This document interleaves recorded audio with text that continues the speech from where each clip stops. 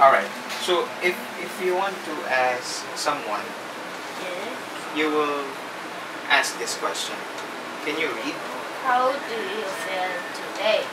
Do you feel happy? Do you feel sad? Do you feel angry? Do you feel hot? Do you feel cold? All right. Let uh, let's do like this. How do you feel today? Like that. How do you feel today? And then when you say, do you feel happy? Do Like you feel happy? And then Do you feel sad? sad. Do you feel angry? And then Do you feel how about itchy? How can you show itchy? uh, yes?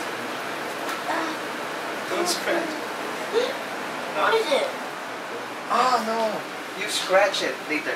All right. So what else? Do you feel angry? How do you show angry? I'm not. angry. You will show. Do So now, um, we will practice to ask to other teachers. Okay? You will ask this. Let's practice. No, it's okay. yes? How do you feel today? How, how do you feel today? Do you feel hot? Okay. Do you feel Hmm. So you bring this, and then we will go to the picture to ask question. That's it. You sit here. Upper. How do you feel today? Make it louder. Do you feel itchy? Uh, I didn't feel itchy.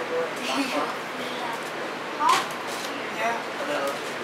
Do you um, happy? Happy? Uh, happy. Yeah, always. Why? Do you feel sad? I'm sorry?